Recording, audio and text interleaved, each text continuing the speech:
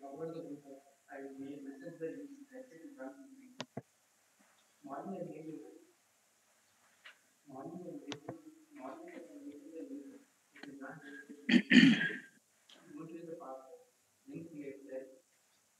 Yeah, yeah. Link create. The link for the Name already meeting morning.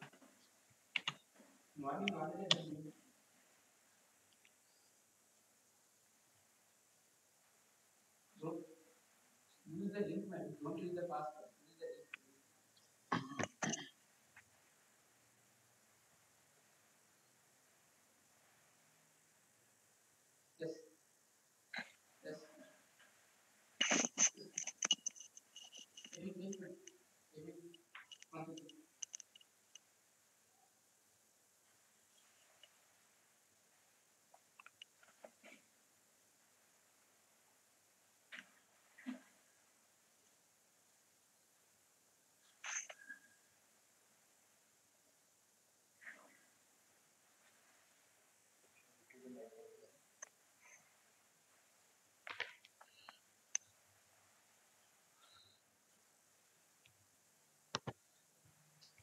Kishore Zoom మళ్ళీ logout అయిపోయింది No.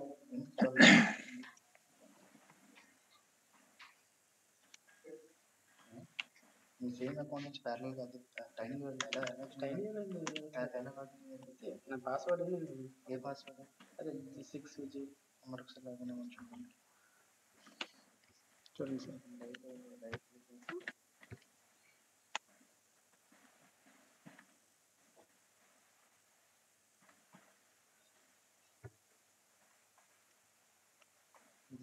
కొంచెం close చేయండి ఉన్నా sir అలా ఎక్కడున్నారు ఒక నిమిషం జియో మీటింగ్ వస్తుంది అవును అక్కకి లక్ష్మణ్ గారు మాట్లాడుతున్నారు ఓకేనా సార్ ఇవ్వండి సార్ ఇప్పుడు ఓపెన్ చేసాను ఇక్కడ వచ్చేసి ఒక నిమిషం ఒక నిమిషం ఒక నిమిషం ఏదో ఒక నిమిషం. ఇక్కడికి వచ్చేయి ఇది ఓకే ఓకే సార్ నేను ఒక్కనే కనబడుతున్నాను అంట పార్టిసిపెంట్స్ కదండి ఎందుకంటే okay fine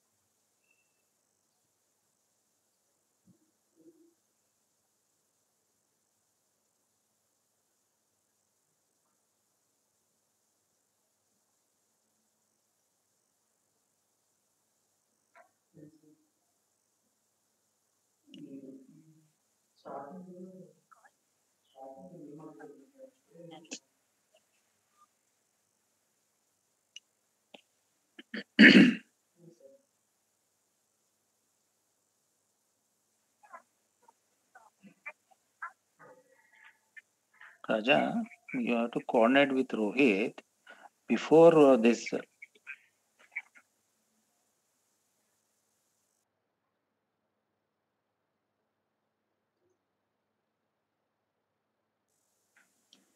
sea, la.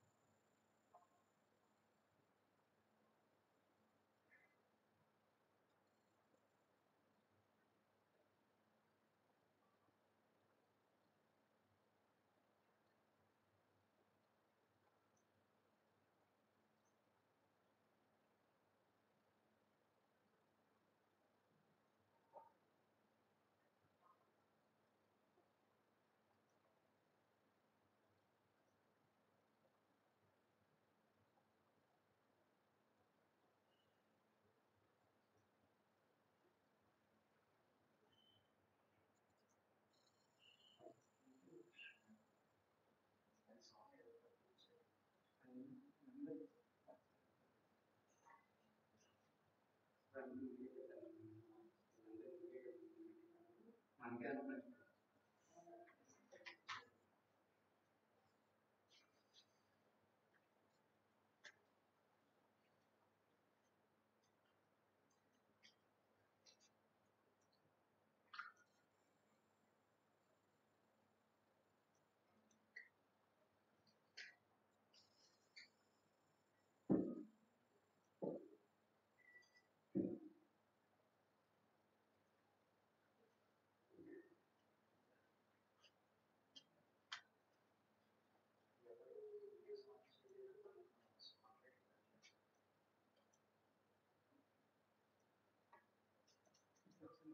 first నేను ఒకసారి think think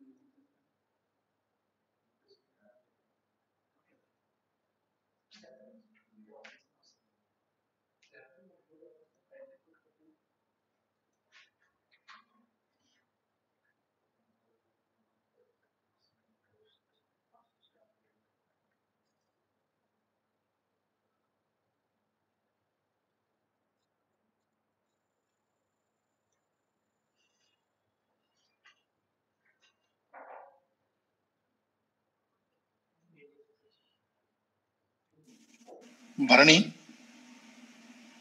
Yes sir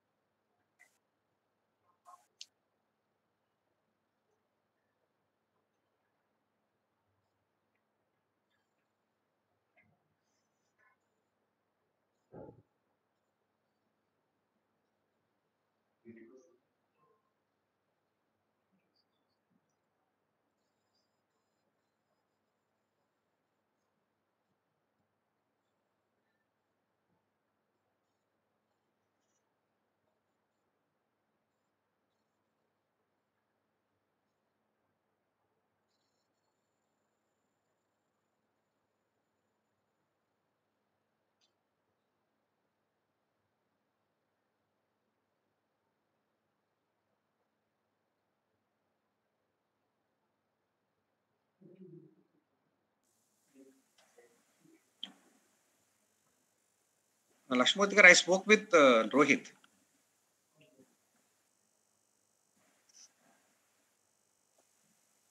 Coordinate with Raja. After Yeah, he yeah. comes, then invite Yeah. him. Okay.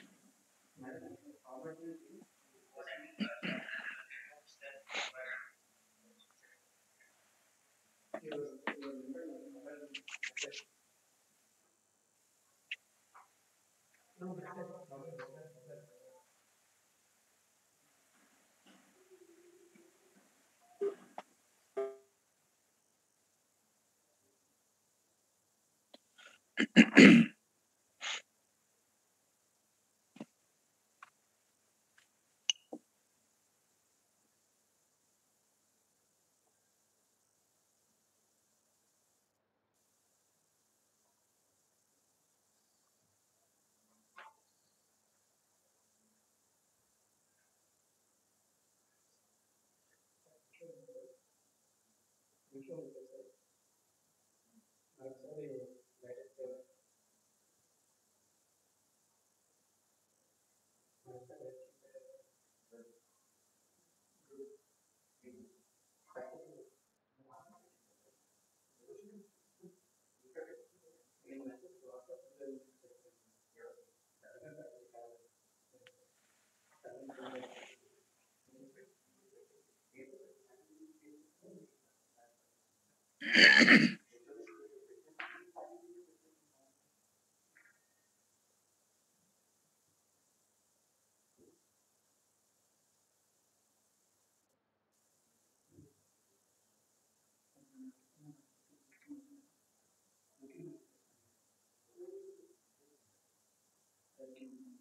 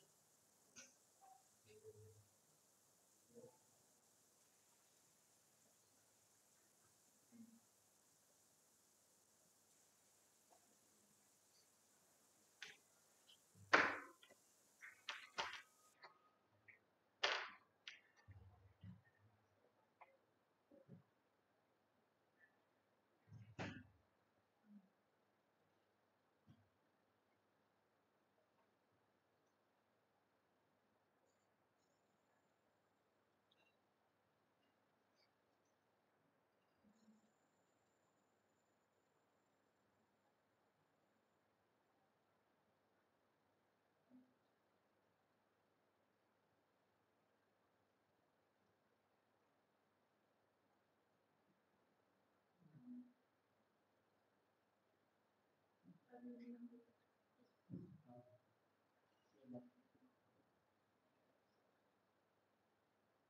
you.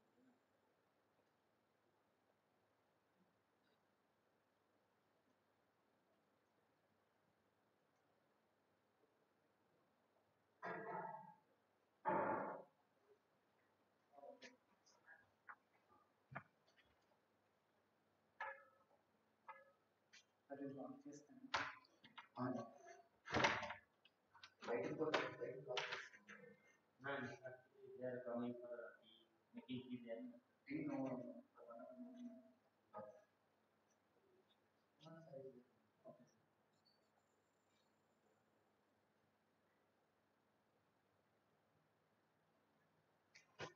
And the pitfall as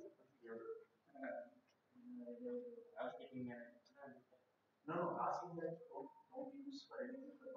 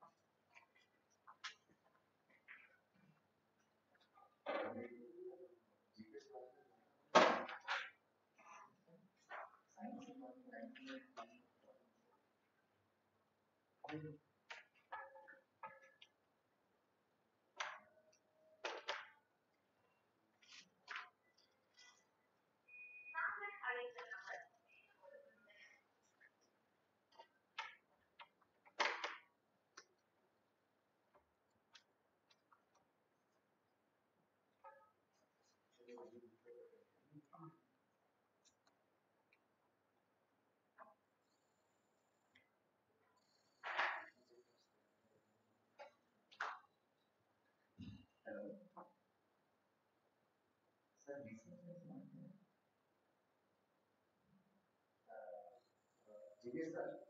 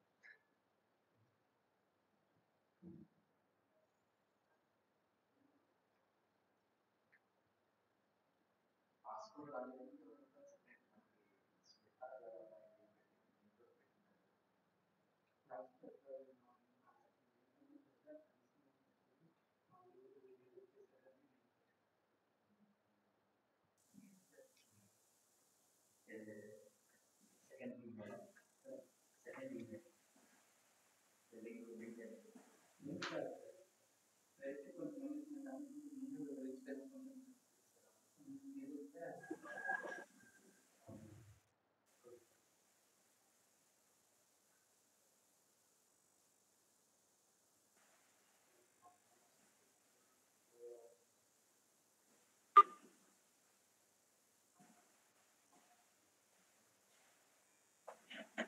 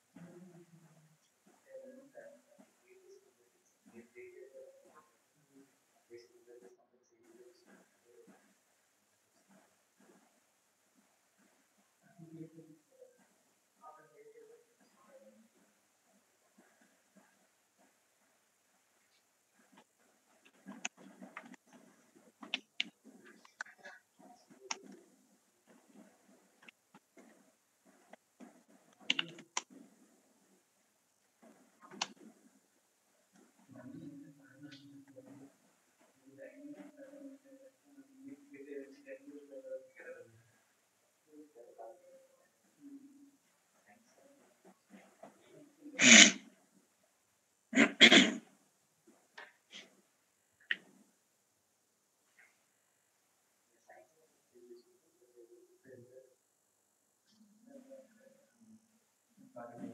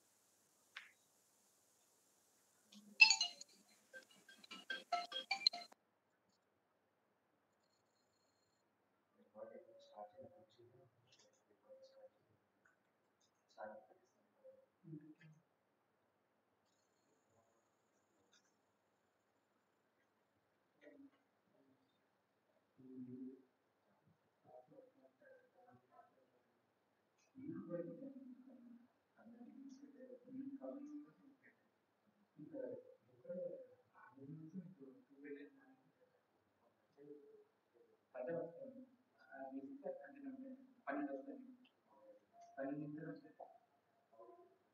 second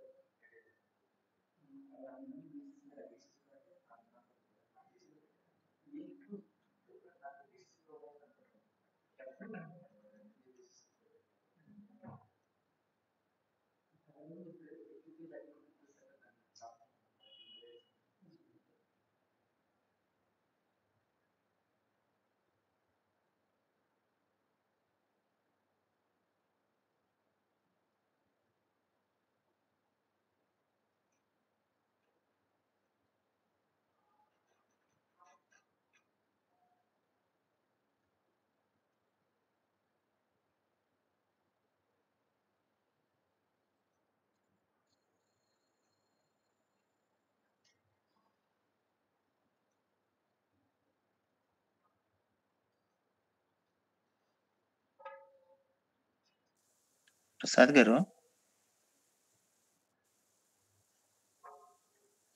Prasad గారు Tell me, sir. Sir, tell me, sir.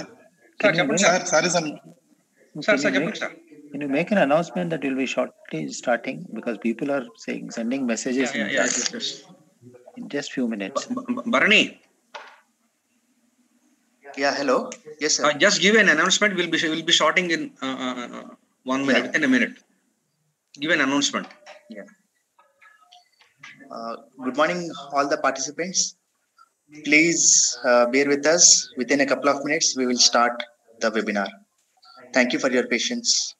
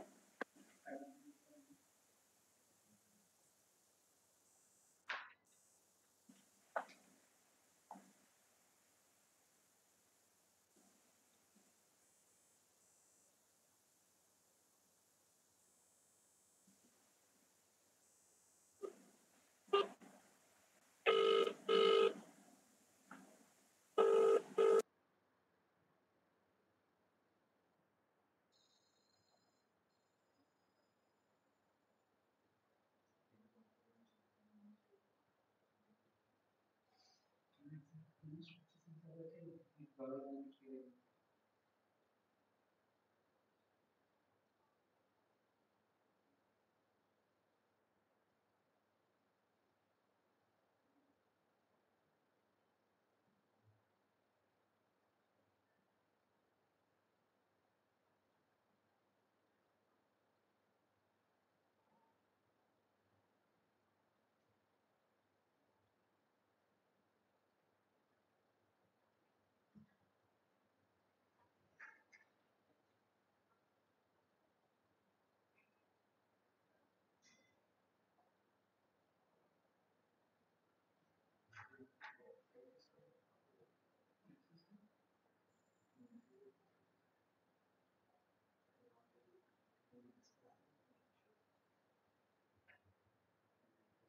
Finally, David concludes that there are elements of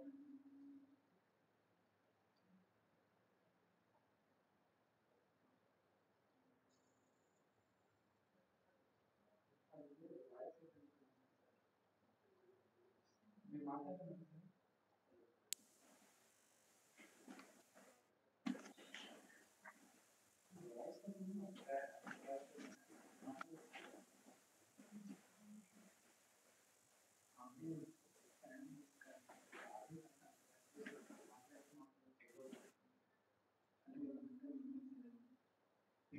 experience these in beautiful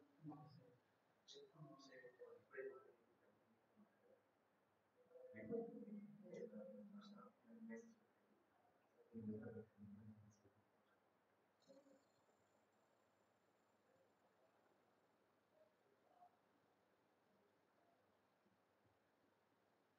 Creative intelligence, giving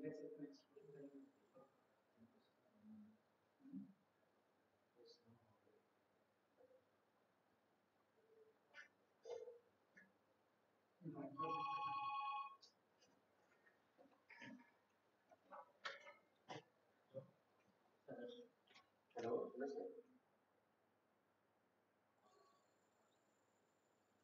I think Radha sir has sent,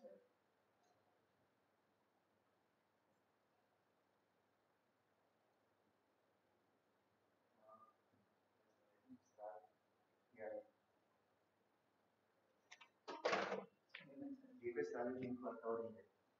And then, and she had. Maybe. I think.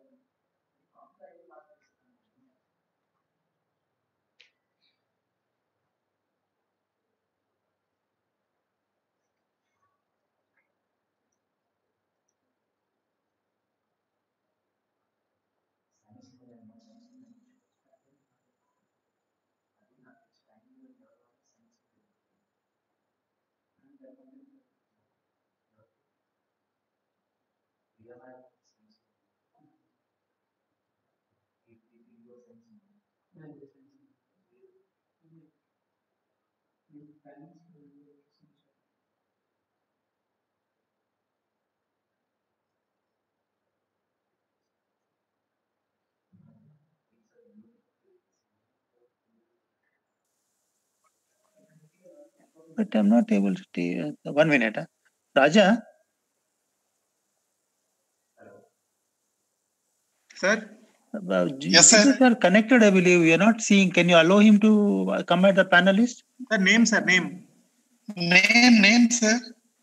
Ra- Raju, Raju at uh, GBS something is there. No? Sir, can you ask him to ping me, a ping a message to the group, sir? We could not be able to recognize, sir. I think. uh,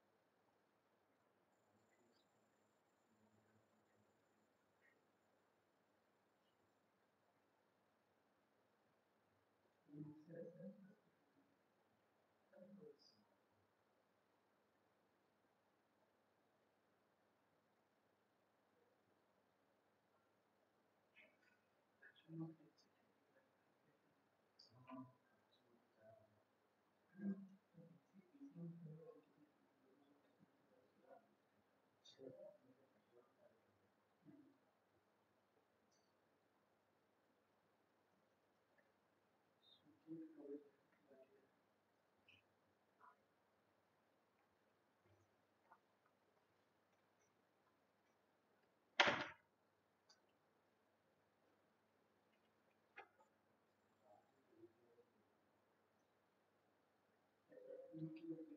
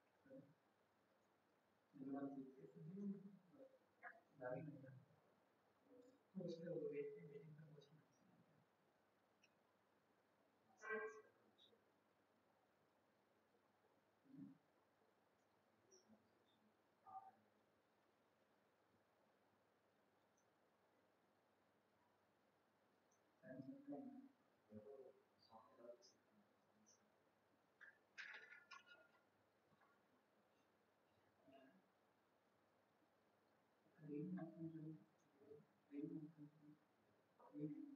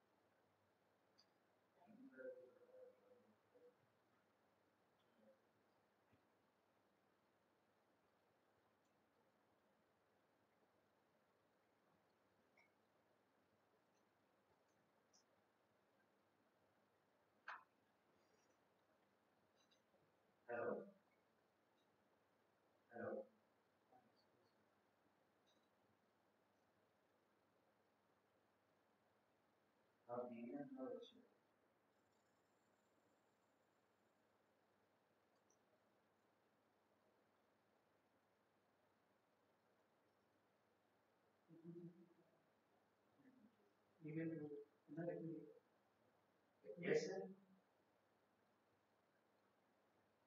I know the Swami has, Vivian also is actually making Spanish. Vivian, Vivian, yeah.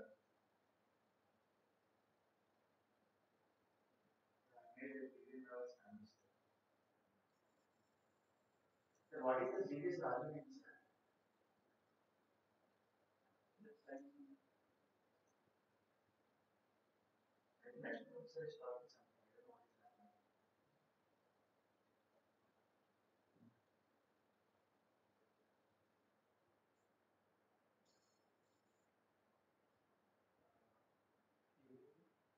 Samya is not is right like this.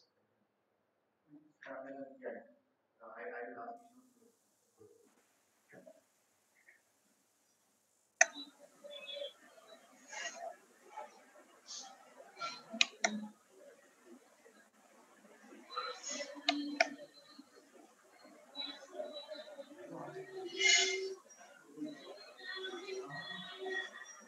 Sir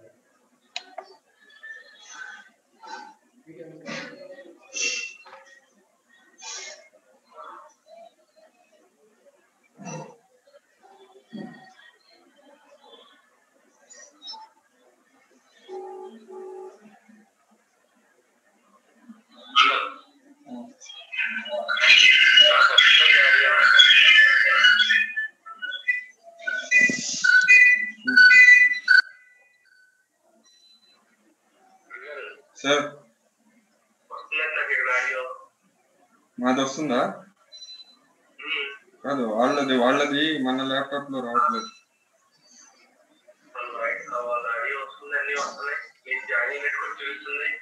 but voice బయటికి రా మాకు voice రావట్లే.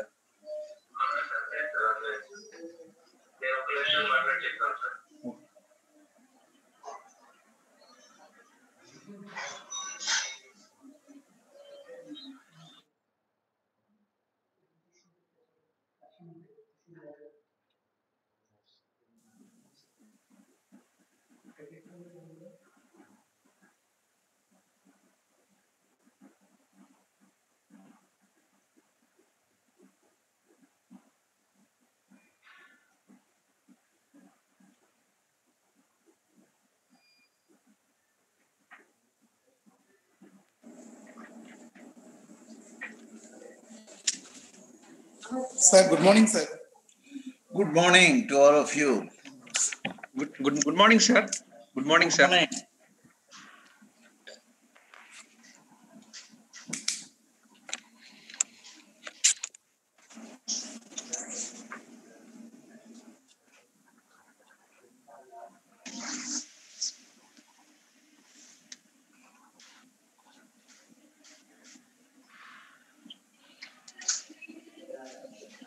Prasad garu, you can proceed.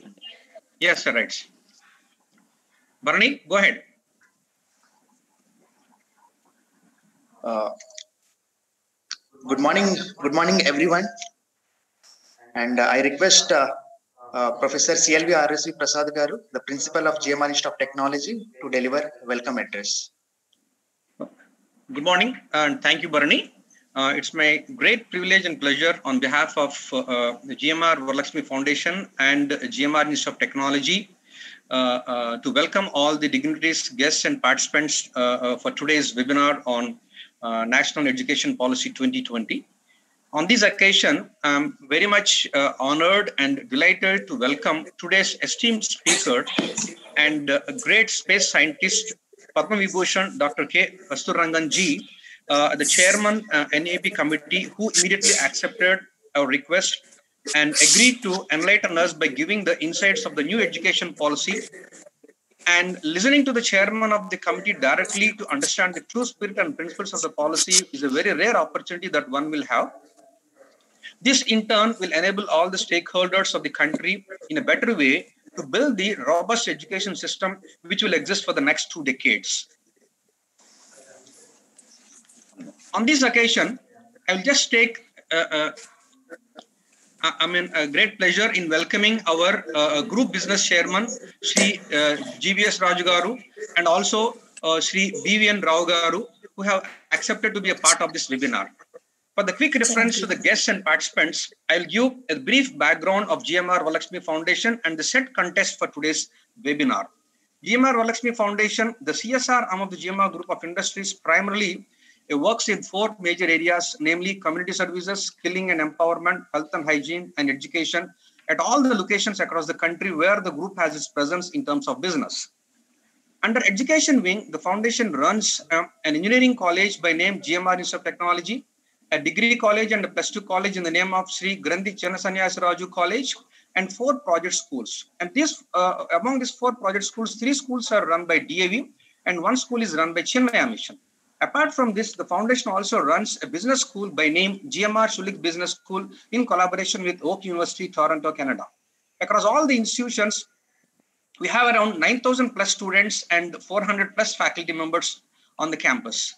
With the spirit of bringing the quality education to the reach of the students in Srikakulam district, Andhra Pradesh, which is the poorest of the poor districts in the country, GMR Varalakshmi Foundation established GMR Institute of Technology and the degree college and plus two college and two colleges in the place called Rajam at the village, which happens to be the birthplace of our chairman, Sri GM Rao Garu. So with this background, the GMR VF being in the education sector since 1993, the contest has been set to understand the insights of the National Education Policy, NEP 2020, uh, from the chairman of this committee. So now I, I, I request our business chairman to just to say a few words on this occasion.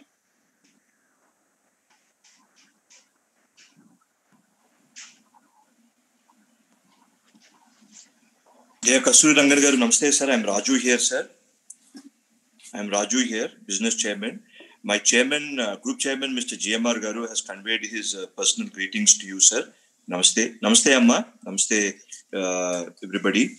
And uh, good morning uh, to everyone. Dear uh, Kasturi, Dr. Kasturi Ranganji, uh, dear faculty members and distinguished guests and uh, all attendees. Uh, good morning. Uh, thank you very much for attending this uh, webinar. And I special thanks to uh, Dr. Kasturi Rangan Garu. Uh, education is a key enabler in the evaluation of any society, and it ensures that all strata of society can make a significant impact in bringing about positive change at all levels. This has a direct socio-economic impact at a societal level, increasing the overall standard of livelihood. India itself has a rich tradition like a Gurukul system, which ensured that education of all students is equitable manner in equitable manner, irrespective of their caste, social strata, and the system is focused on overall development of the students. These principles have resulted in several Indians establishing themselves as thought leaders with expertise across fields like education, science, technology, research and development, and business management, and in several fields of expertise. We believe that the recently announced National Education Policy 2020 transform and upgrade the Indian education system significantly based on its holistic and forward looking approach. It will bring in a lot of practical learning opportunities, integrate vocational courses, and providing flexibility to students to pursue the disciplines based on their attitude and long term aspirations. We truly believe that the seamless implementation of National Education Policy 2020 will help us harness and nurture the talent pool existing across the country, pitching India as the largest skilled manpower country in the world. I am confident that this would also equip all students with the 21st century skills, including creativity, entrepreneurship, critical thinking, and collaboration, with a strong emphasis on STEM education and technologies in the new age digital era. We at GMR Varalakshmi Foundation are focused across the entire education life cycle, like from Balwadis to professional degree courses, and believe that post NEP 2020, there will be a higher enrollment percentage, especially in the rural and semi rural areas. This will enhance the education based development of rural and semi rural areas across the country. I am pleased to welcome Dr. Kasturi Ranganji, former chairman of ISRO, who is the head of drafting committee of National Education Policy 2020, to share his thoughts, views, and perspectives on how we can all learn and leverage the NEP 2020 to further the education development across the country. Thank you. Thank you, sir. Thank you. Thank you for uh, addressing our participants. Uh, it is an honor to introduce uh, Dr. K. Kasturi Rangan, sir. Uh, Dr. Dr. Krishnaswamy Kasturi Rangan completed his Bachelor of Science with honors and Master of Science in Physics from Bombay University and received his doctorate in experimental high energy astronomy in 1971 while working at the Physics uh, Research Laboratory, Ahmedabad.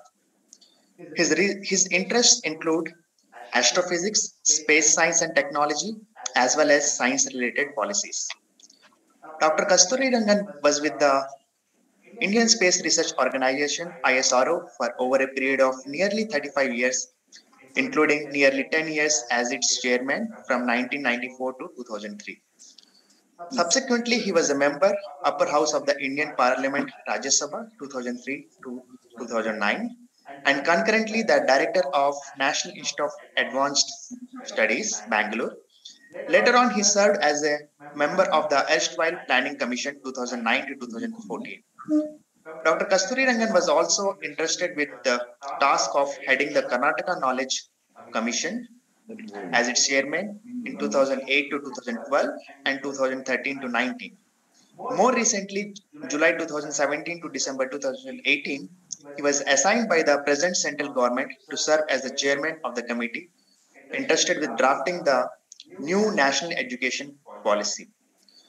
Dr. Kasturi Rangan presently is the chairman governing board Inter-University Center for Astronomy and Astrophysics, Pune, Chancellor Central University of Rajasthan, Chairperson NIIT University, uh, President Current Science Association Bangalore, Chairman Board of Governors Vikram A. Sarabhai Community Science Center, Ahmedabad. Uh, member Atomic Energy Commission, Emeritus Professor of NIAS, Bangalore, and Honorary Advisor of uh, ISRO.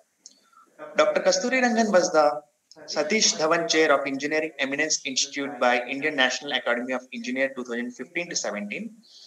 He has also occupied important positions in some of the leading academic institutions of India, such as being the chairman, board of governors uh, at Indian Institute of Technology, Chennai, chairman, council of uh, uh, Indian Institute of Science, IISc Bangalore, 2004 to 15, president court of IISc 2015 to 18, chancellor Jawaharlal Nehru University, New Delhi from 2012 to 2017, Chairman Council of Raman Research Institute, Bangalore 2000 to 2016, among others.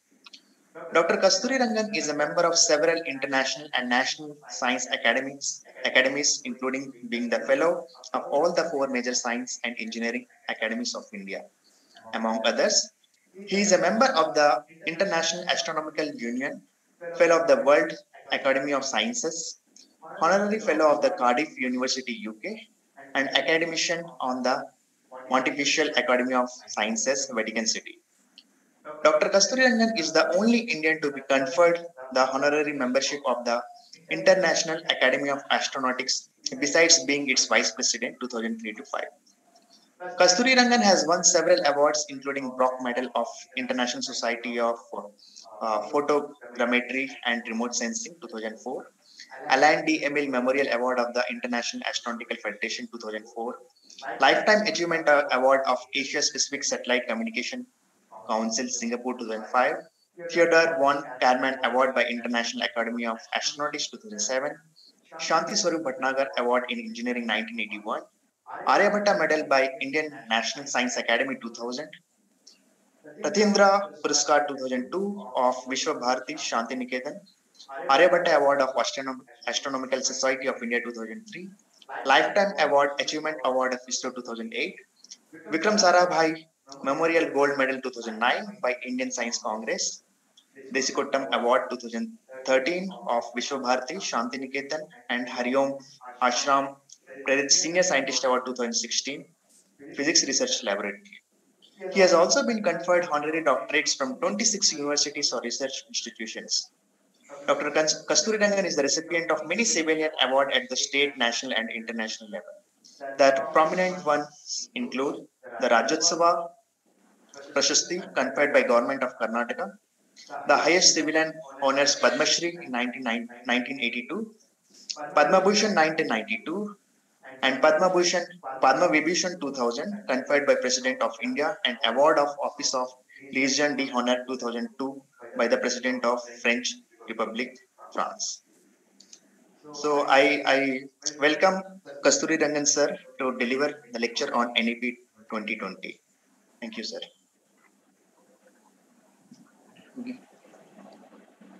Good morning and thank you for this wonderful remarks.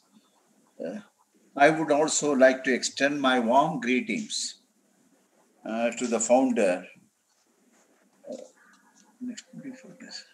Uh, uh, to the founder, Mr. GMR Rao, uh, for his vision and farsightedness in creating a very vibrant infrastructure and related institutions contributing to the developmental and economic growth of Andhra Pradesh and also of the country. That all these organizations have been created within a span of four decades speaks volumes of the dynamism and efficiency of Mr. GMR Rao and his very close colleagues, Mr. GBS Raju and Mr. Lakshman Murthy Garu, which is really laudable. Against this backdrop, GMR Varalakshmi Foundation has embarked on bringing education into their fold, which is definitely an encouraging structure, create quality education manpower for a variety needs locally, state-wise, and nationally. I would like to extend my best wishes to Dr. CLV Rao, R.S. Rao Prasad, Principal GMRIT, and Dr. J. Raja Murugadoss, Vice Principal GMRIT. To such an institution and leadership, I'm extremely happy to share my thought about the emerging ideas of the future of higher education in this country. Accordingly, I'll spend the rest of my time in articulating the different aspects the Indian National Education Policy 2020, which has been adopted by the present government to shape India's education in the coming decades. Now, let us look at the relevance of education in the present context. India will have the highest population of young people in the world over the next decade. More than 50% will be below 50, 35 years, aspiring for high quality education. This demographic dividend has to be taken advantage of. Globalization and demands of a knowledge economy and knowledge society call for emphasis on the need for acquisition of new skills by learners on a regular basis for them to learn how to learn and become lifelong learners, a critical consideration to be addressed appropriately. Changes in knowledge landscape, especially science and technology advances like big data analytics, machine learning, artificial intelligence, all demand skilled workforce involving mathematics, computer science, data science, as well as multidisciplinary abilities across sciences, social sciences, and humanities. The education of future need to be reconfigured in order to meet the goals of global education development agenda, goal 4 of the sustainable development goals 4 of 2030 that seeks to ensure inclusion and equitable quality education and promote lifelong learning uh, for opportunities for all. I shall briefly dwell upon this, how we went about this uh, since this committee was formed. We had the members of the policy committee, which was constituted by the then Minister of Education, uh, Mr. Prakash Javadekar, asking us to now come out with a, a, a policy framework uh, that will guide the India's education. Uh, the members of the drafting committee, of course, were drawn from different areas, whether it is related to science, arts, humanities, educationists, policymakers, and even mathematicians. We had uh, Professor Manjul Bhargav, a professor from Princeton, uh, who came over specially for being a part of this particular committee. We also had members of a technical secretariat to service this committee. And most importantly to us, even though we formulate this policy to give an objective review of this policy, we also created a set of peer reviewers who are well known for their contribution to the field of education and policy, but who are not a part of formulating this policy at all. So, what is the process we adopted? Discussions and consultations with different stakeholders, including organizations, institutions, and individuals. This we started somewhere in July 2017 onwards previous policy documents were very extensively used documentation from ground level consultations submissions from individuals and group i may mention these were all part of the preparatory work that was done by the ministry of at that time the ministry of human resource and development even before our committee was formed. So there was an enormous amount of background material that was available to us uh, to study and assimilate as a part of formulating the present policy. The public renaissance, of course, having done this, having submitted a, having submitted a draft policy, the government, the present government chose it to put it in the public domain to make sure that the public is aware of this policy and they wanted to draw opinions from the various segments of the society. So over two and a half lakh opinions were made available uh, through this kind of a public response uh, step. And uh, this was again was analyzed by the uh, Ministry of Human Resources in the context of seeing what kind of new things the public would like to do beyond what we have done. But I should say that nearly 78 to 80 percent of the recommendations that we have made were endorsed by the responses from the public domain. Consultation with state education authorities was another important step. After all, education is a concurrent subject. So we had to make sure that we had discussions with the state government education authorities and look at their opinion with respect to the formulation of this policy. Reviews of policy document at the level of Honorable Prime Minister. This is one of the things. Once we submitted this, when we got all the inputs from public domain, when we completed the consultations with the state government authorities and educational authorities, at the final stages, when we had a near final document, this was subjected to a very thorough review by our Honorable Prime Minister. I want to, I want to say this because the Prime Minister had three to four sittings on this in what some of the sittings, he spends hours discussing the various nitty-gritty details of the policy and made sure that this policy is pragmatic and is appropriate in the context of India's uh, developing ambitions as a knowledge society. So he went into each one of the items of the policy to make sure that it's the right type of recommendation and that he is satisfied with it. Of course, we subsequently had, after this review at the level of Honorable Prime Minister, major conferences with vice chancellors, vice chancellors, and other high-level functionaries convened by Honorable Prime Minister, and later on also Rashtrapati ji, His Excellency the President of India, conducted a few reviews uh, with the chancellors and other high-level functionaries in the context of reviewing this document. So that is the situation at which we are today. Right now, the work is in progress with respect to how do we want to now implement it the steps that we need to take up, the phasing that we need to do, and the type of resources that we want to deploy. So these are the present actions that are currently in progress. And what I would like to say is to bring the audience up to date with respect to the present status of the details that are there in the policy, which are to be implemented subsequently by both the state and the central governments. Now, let us look at the framework of the policy document. How does a policy overarching, the overarching statement with regard to how the character of the policy, the policy provides an integrated yet flexible approach to education. Further, it has kept the interconnectedness of the various phases of education in mind and how the same will enable continuity, coherence, and processes to ultimately realize an end to end educational roadmap for the country.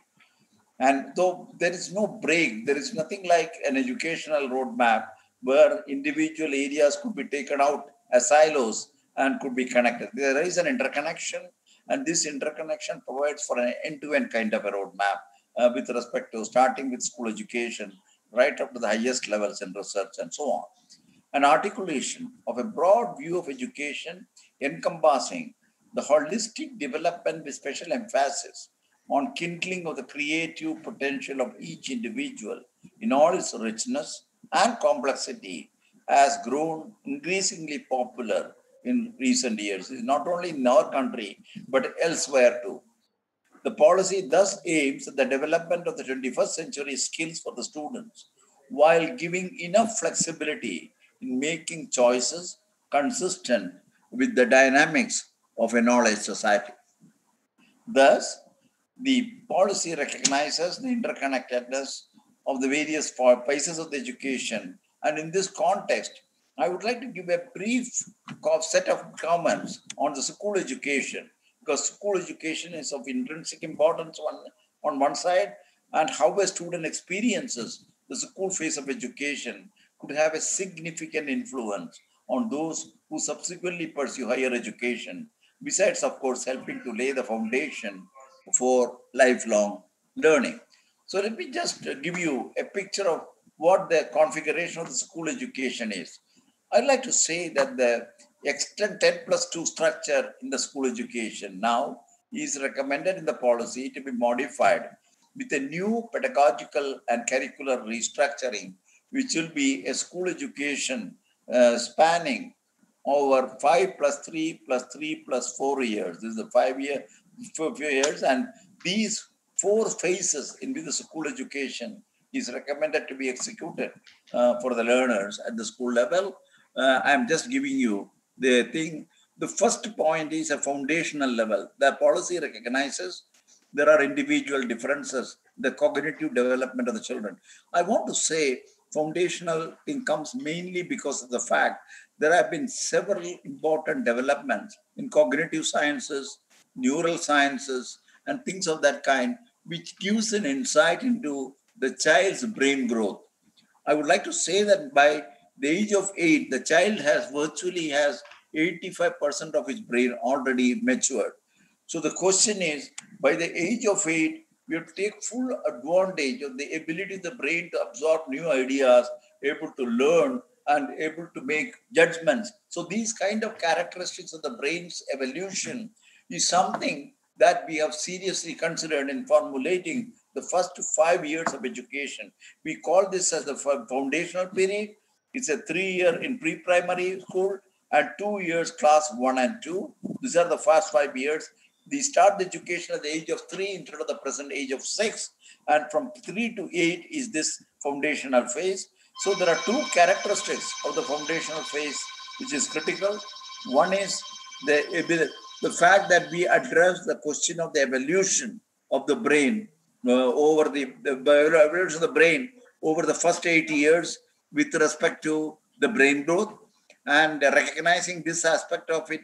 And the second point is every child has its own trajectory of brain growth and therefore we have to make sure there is attention to be paid at the individual level for these children so these are the two elements that go with the foundational thing something which was not considered in the earlier policies but we recognize this as an important area simply because of the fact that we understand today the brain growth and its trajectory much better than what it was known at the time the previous policies were formulated. So having gone through the first five years in the foundational phase, the child gets into the next three years where you start bringing in the curricular structure, standardization, and things of that, kind. But in a broader uh, context of learning and writing and things of that kind, this takes us to the next middle level where we go for more structured learning from age 11 or so to age 14, where we start learning subjects. We interact more with the teachers, try to understand the concepts at the abstract level and things of that kind. So you have a beginning, which is conceptual, perceptual, then you go into the conceptual level, then you go into um, the, the, the prescriptive level, and finally you're going to understand abstractive ideas uh, that are part of a higher, higher educational aspect of a school education. So that is the middle school. And finally, all these at, at, by the age of 14 leads to the secondary level, which is a four-year period where you bring in the multidisciplinary orientation with often. The most important aspect is this will prepare the student on one side to be knowledge sufficiently knowledgeable to pursue a profession at the end of the secondary school education. It could be vocational, it could be certain type of professional things. And on the other side, we can also prepare the student for the undergraduate program, including early introduction to liberal arts education. I'll come back to the liberal arts education a little later. So you can see the present four phases of school education is developmentally appropriate, addresses the growth pattern of the brain of the child, and making sure that we take maximum advantage of this great of growth pattern in trying to create those of the curricular and pedagogical structure that will enable the student to understand at the appropriate age the appropriate thing and therefore much more effective in terms of learning uh, process that we need to impart to the child. Now I go, this is, I just thought that I will introduce this aspect of the school education more for the continuity, as I mentioned earlier. And also equally importantly, it's a very new con- a set of ideas that we have brought in mainly because of our better understanding of the science of brain and the brain evolution. Now we go to the most important aspect in the higher education part of it, and this is undergraduate education. Uh, the undergraduate education here, uh, I'm trying to touch it with respect to the strategy we have recommended, one of holistic education. The policy aims to promote holistic and multidisciplinary education at the undergraduate level to generate more imagination and creativity in students to ensure their all-rounded development. So this is one of the important things. The whole idea of a holistic and multidisciplinary education is to kindle imagination and creativity in the student the concept is also called as a liberal education. The integrated, holistic, and multidisciplinary education is also what is known as a liberal education. Is an age-old idea in the Indian context. I mean, should mention this in Bana Bhatta's Kadambari, for example, is one of the longest and oldest novels ever written by anybody. But this talks much about education. A person was recognized as a truly educated when he mastered the 64 kalas, arts, encompassing music, dance, painting, sculpture, languages, and literature, in addition to subjects such as science, engineering, and mathematics, as well as vocational subjects such as carpentry and things of that kind. Liberal education explores the remarkable relationship. This, this is very important to note. The remarkable relationship that exists among the sciences and humanities, mathematics and art, medicine and physics, etc., and more generally, the surprising unity of all fields of human endeavor. So that is what the crux of the uh, liberal education is. A comprehensive liberal education, therefore, develops all capacities of human beings intellectual, aesthetics, social, physical, emotional, and uh, moral in an integrated manner. So this is what the background of a liberal education is, holistic and integrative. And as a crucial step to lead India into the 21st century and the fourth industrial revolution, therefore, multidisciplinary education is central. Even engineering schools such as yours, such as the IITs, will move towards more holistic, multidisciplinary education with more arts and humanities. You try to bring this. Already there are a lot of discussion on STEM, STEAM, and so on and so forth. While arts and humanities students will aim to learn more science, while all will try to make an effort to incorporate more vocational subjects and soft skills. India's rich legacy in the arts as well as in the sciences and beyond will significantly help in making the move towards an education and which is of this type an easy and natural transition. Give a little more details of what this education, liberal education is with respect to the undergraduate program. First of all, when we talk about undergraduate program, liberal education, we are really talking of imaginative and flexible curricular structures, creative combinations of disciplines of study, multiple exit and entry options, and master and doctoral education to provide research-based specializations. The three to four year undergraduate degree, currently the undergraduate degree, we are, we are recommending a four year undergraduate degree with multiple options include a four year program where undergraduate degree encompassing liberal arts education in chosen major and minor, vocational subject or even on professional education is what is recommended as the, the, the four year component, which is the total component with regard to an undergraduate education. One can also have consistent with the existing system of three-year program.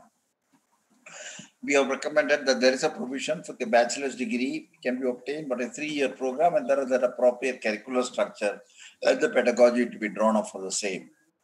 Both the third and fourth year program lead to degree with honors with research work. So there is a provision in the third and fourth year of undergraduate education to also encourage research. After all, the research is more than producing papers. It creates originality and creativity among the youngsters. This is an important component of a training that they need to be given even at the undergraduate level. And finally, we can have an exit even at the end of two years of undergraduate education, a diploma can be given, or a one year when a certificate can be given. So the exit exists for the first year, second year, third year, and fourth year. And these exits are made in such a way that the corresponding curricular structures provide certain type of opportunities in jobs and other kinds of activities if you want to leave at any point in the undergraduate education. Finally, it also provides in the Flex Master's Degree program a two-year for those with the three-year undergraduate degree, a one-year for those with a four-year undergraduate degree with honors, and an integrated five-year program itself that can lead to masters. So there is a flexibility in also the master degree program uh, with respect to uh, the number of years that they need to spend under different circumstances of how they did in the undergraduate education. Now, the next important thing is I said about the holisticity and the integrative nature of the education. So, here is another important area. How do we integrate the professional education into the mainstream education? Regarding the integration of professional education with general education, the policy aims to take a holistic approach to the preparation of professionals by ensuring broad based competencies, an understanding of the social human context, a strong ethical compass in addition to the highest quality professional capacities. So there are the present professional education falls short of many of these kind of requirements of being a total professional. The, the, that's where we are trying to bring in more completeness to the professional education. And the recommendation is that the professional education should have to have a large component of the general education. And so there is an integration that is needed between the professional education and the mainstream education and bring a holisticity and integration at uh, the education level in the professional uh, subjects. All institutions offering either professional or general education finally have to organically evolve into multidisciplinary institutions offering both by 2030. This is one of the key elements of the recommendation that we have made in trying to make sure that there is an organic, ultimately organic evolution between the professional education and the general education towards a more multidisciplinary education. The overall higher education sector, therefore, will aim to be an integrated higher education system, including professional and vocational education. Thus, this approach will be applicable to all higher educational institutions across current streams, which will eventually merge into one coherent ecosystem of higher education. Now, let us look at the research component. Uh, I, I just move to another major recommendation, which is related to catalyzing the quality academic research in all the fields. Then, what we are trying to do is to get, recommend a national research foundation, which is to provide the necessary institutional framework to support research activities uh, on a wider scale than ever imagined currently. I may like to mention that the research and innovation leading to knowledge creation is central to growing and sustaining a large and vibrant economy, uplifting the society. The robust ecosystem of research is today more relevant than ever in the context of climate change or a population dynamics, biotechnology, expanding digital marketplace, and the rise of medicine, machine learning, and artificial intelligence. Example, I would like to quote a little bit to see the effectiveness of the research, how it has contributed uh, to the economics of many of the countries. And here is an example for the European Union, which estimates that two thirds of the economic growth of Europe during 1995 to 2007 came from research and innovation. The research and innovation accounted for 15% of all productivity gains 2000 to 2013. This is the period in which this estimate has been made. And that an annual increase of 0.2% of GDP in R&D investment would result in an annual increase of 1.1% in GDP, a five-fold return. So one can see the effectiveness for a well-orchestrated and managed research and development program. And that's precisely what we have recommended and the formation of a national research foundation.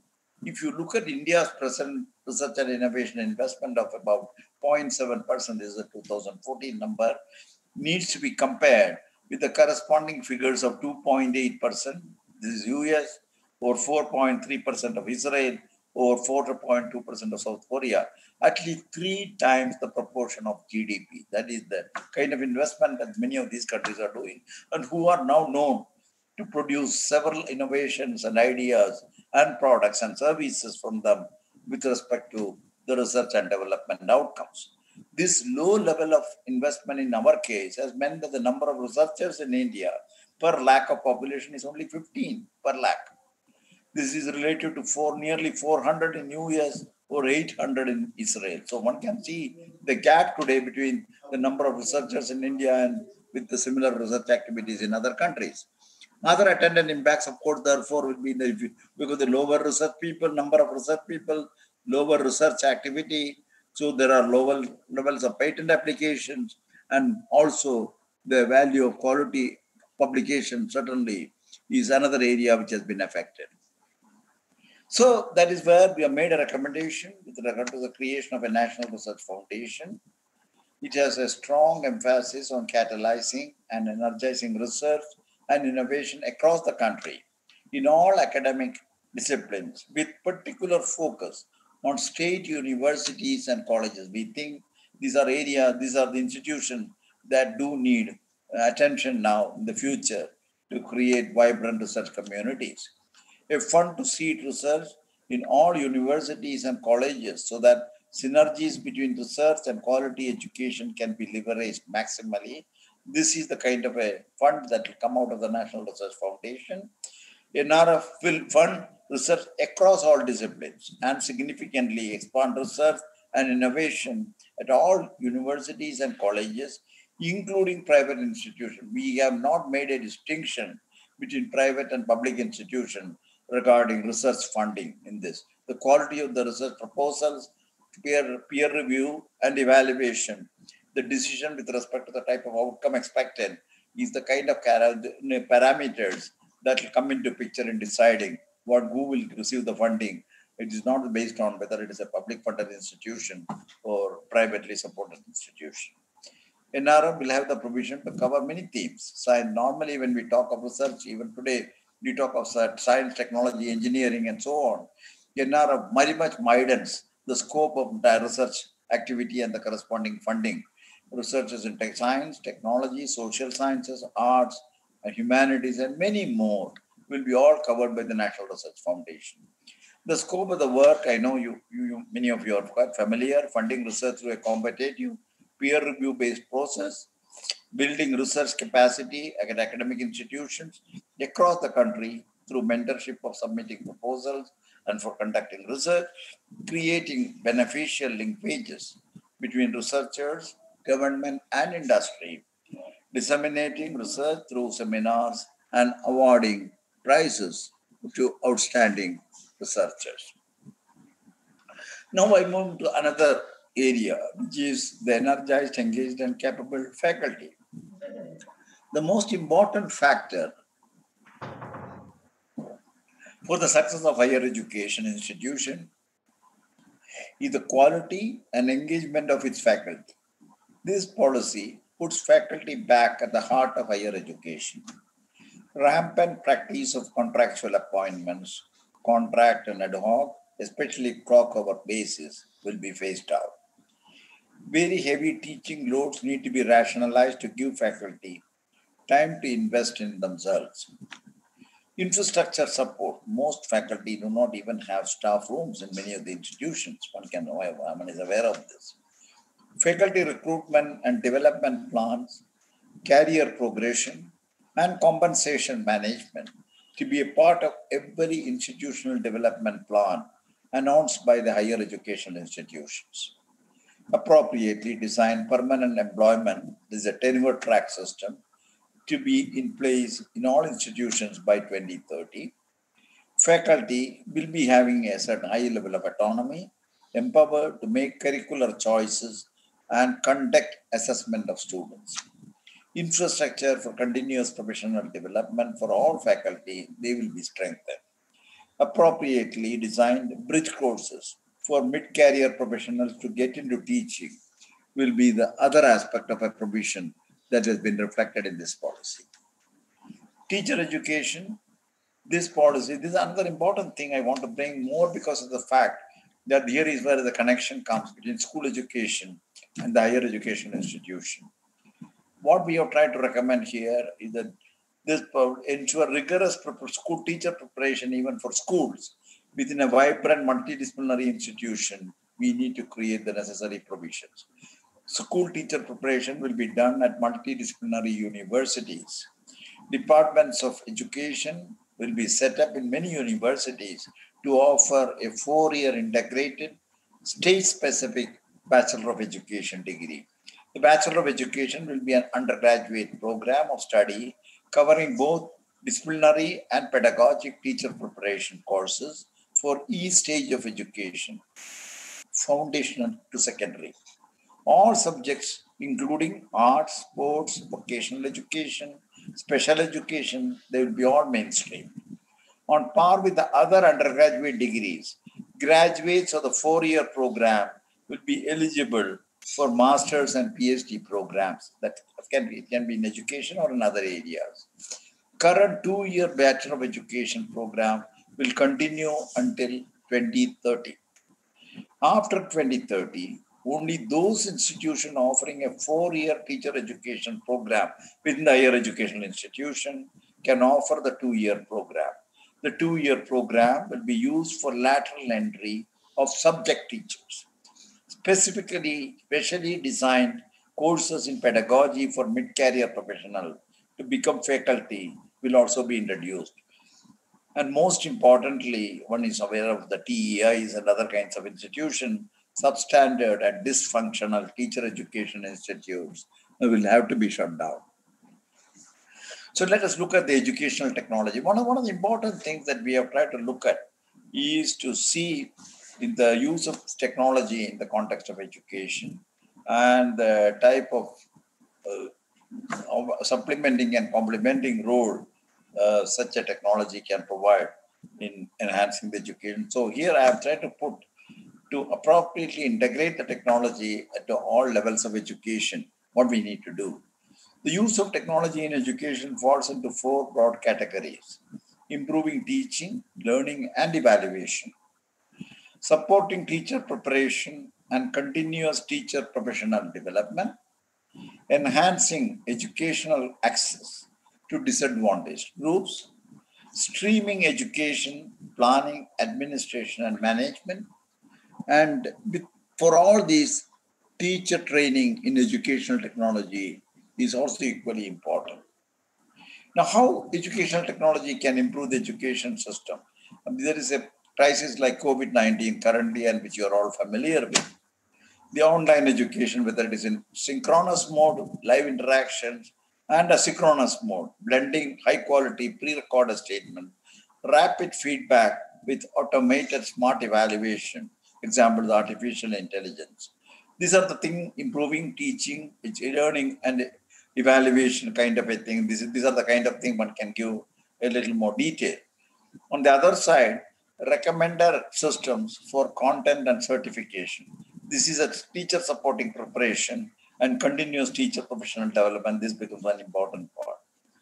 When you go to the enhancing educational access to disadvantages, connect the few specialized teachers to virtual classrooms of learners with specific needs must address the digital divide. This, this is one of the key elements currently that is a constraining factor uh, with respect to the type of role that enhancing teacher access to disadvantaged group can be done with, by using the educational technology. And finally, streaming education, planning, administration, and management. This is a major area on which currently already many institutions follow this. The National Repository of Educational Data to track progress in achieving educational goal is a major recommendation that has come out of this aspect of it. In all these, I would like to emphasize that the teacher training in educational technology is critical and the necessary provision has to be made with respect to how do you bring in an educational system where the teacher will get it automatically as a part of their career. Towards this, one of the important recommendations that we have tried to do is to create a new National Educational Technology Forum, NETF, which will be set up. The following is the role of this kind of an NETF, National Education Technology. It will provide an independent evidence-based advice to central and state government on the adoption of technology-based intervention. I want to say this because there are several technologies that are available the choices had to be made, the appropriateness of those choices had to be evaluated, and there could be also other fallouts from the choice of wrong technologies on the areas of social, cultural, and other aspects of it. So one has to be very careful, critical, and candid about the choice of technologies. That is one of the reasons why we want a forum where this can be fully evaluated and provide evidence-based advice to central and state government. It also help to build an intellectual and institutional capacities in education technology. I mentioned in the previous slide about the importance of this activity. To envision strategic trust areas in the technology domain and to promote education in them among the educational institutions. So this is another kind of a thing. The most important, of course, is to articulate new directions for research and innovation and the use of technology for improving educational outcomes. The important thing is this is mainly a very highly deliberative body. Institutions of higher education certainly can set up certain component of this kind of a forum, which will work with the national system of what you call as an integrated educational technology forum, and try to get the best of the ideas exchange, experiences exchange, new ideas discussed, and also approve the direction or envision the strategic thrust areas, as I mentioned, with regard to the technology domain.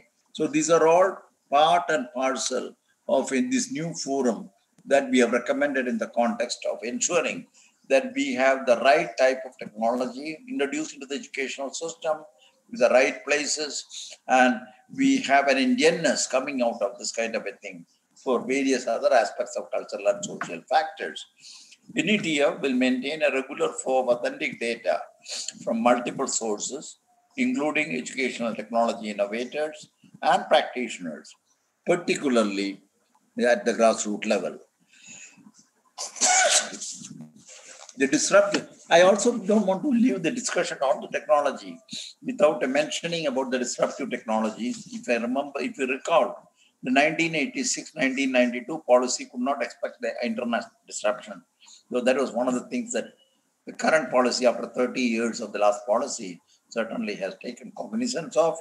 This policy fully expects the educational system to face many technological disruption, whether it is artificial intelligence, machine learning, virtual reality, and things of that kind.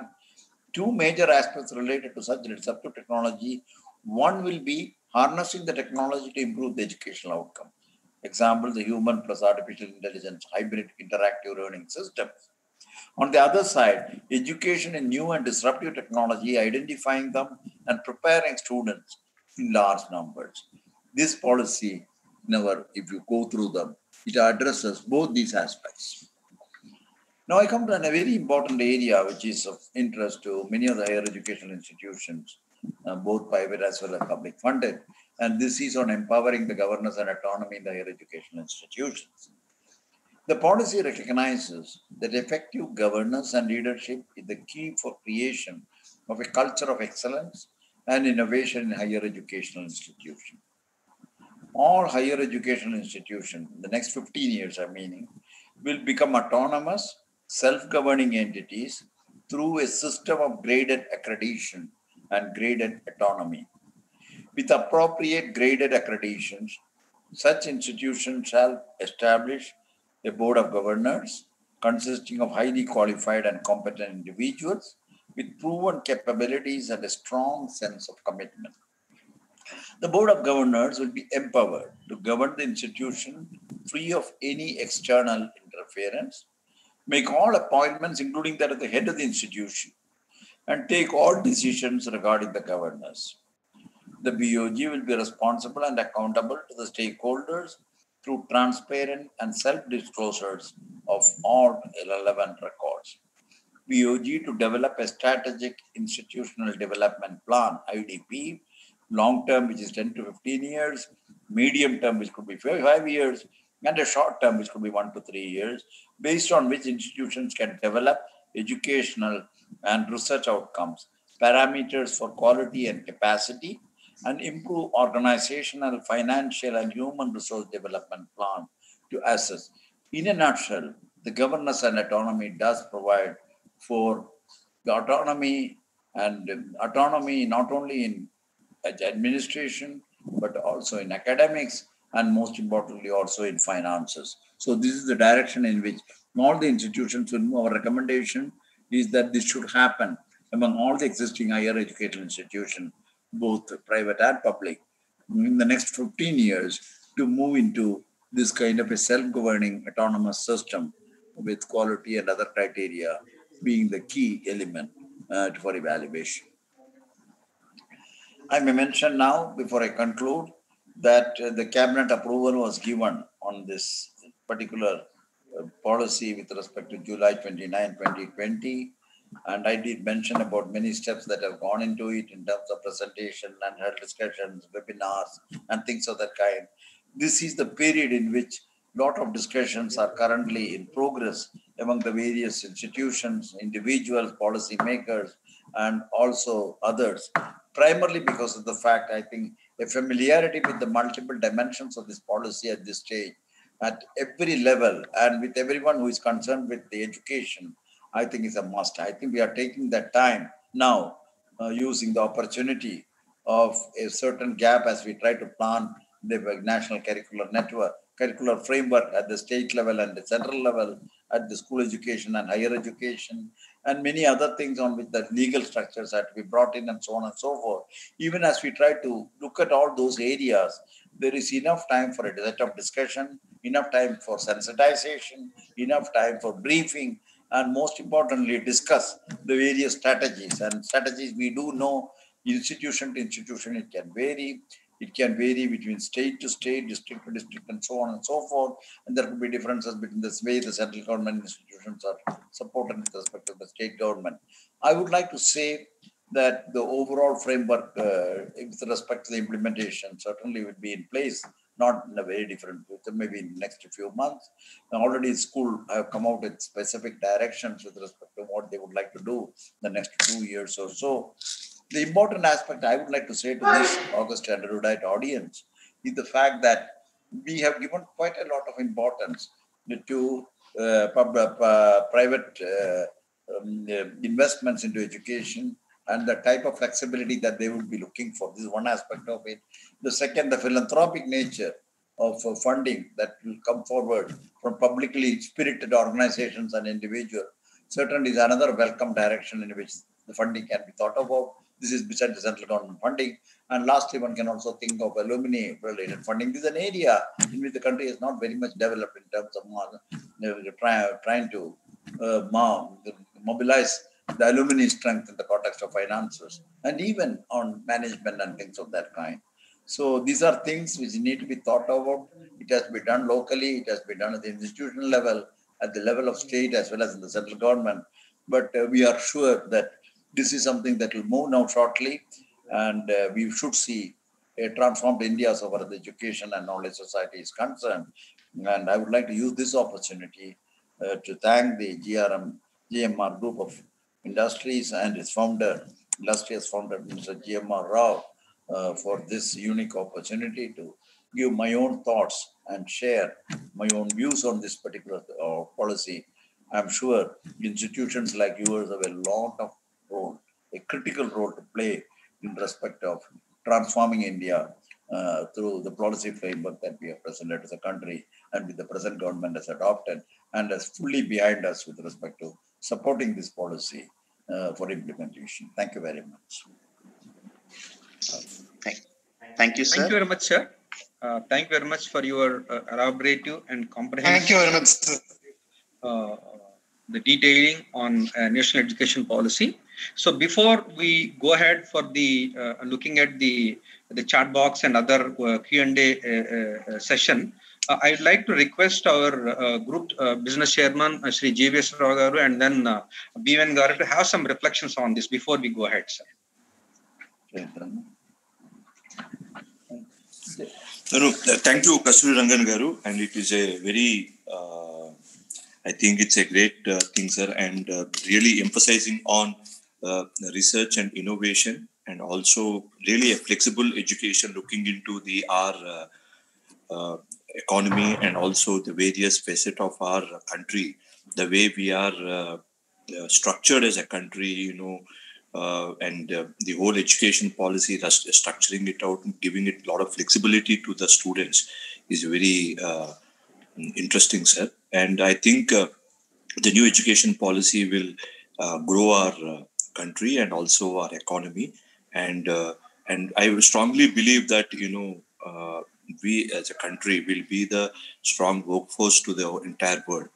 And uh, I think, you know, this is a very good uh, webinar and thank you for your time, sir, uh, Kasturi Garu. And uh, uh, Garu, you have any points? I think uh, you can go ahead with the Q&A session, Prasad Garu. Yes, sir. Thank you, sir. So thank you very much, sir. Uh, uh, now I uh, request uh, to just to consolidate some of the queries that have come from the participants across, and then uh, so that we can just have uh, uh, the reflections from our guest, today's guest, in answering some of the, the few questions. Yes, sir. so there are there are many questions around 30 to 40 questions have been asked by participants uh, however, we will stick to the questions which are very much relevant to this NEP. And you can uh, group them. You can group yes. them so that yes, you can sir. have a, a, a, some uh, consolidated uh, remarks from the uh, speaker. Jagas, yes, yes, yes, sir, yes. Uh, the the common question what most of the students most of the participants have asked about what will be the major impact as far as the primary education is concerned sir? the primary education at the school level Yes, sir. Primary education. Yes, sir. School level, sir. See, the most important thing I mentioned was the the foundational component of the uh, school uh, school level education, which is spread over five years, starting from the age three of the child to the stage eight.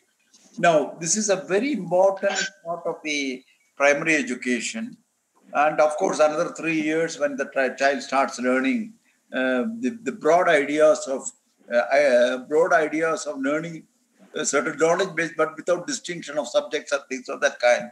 But the first five years, what we call the foundational level, is very much dependent on how well we understand a child, its growth, brain, brain growth, and how do we respond to that brain growth. And as I said, in the trajectory of the brain growth of individual children in this period of the primary education is not uniform, it's not a linear function.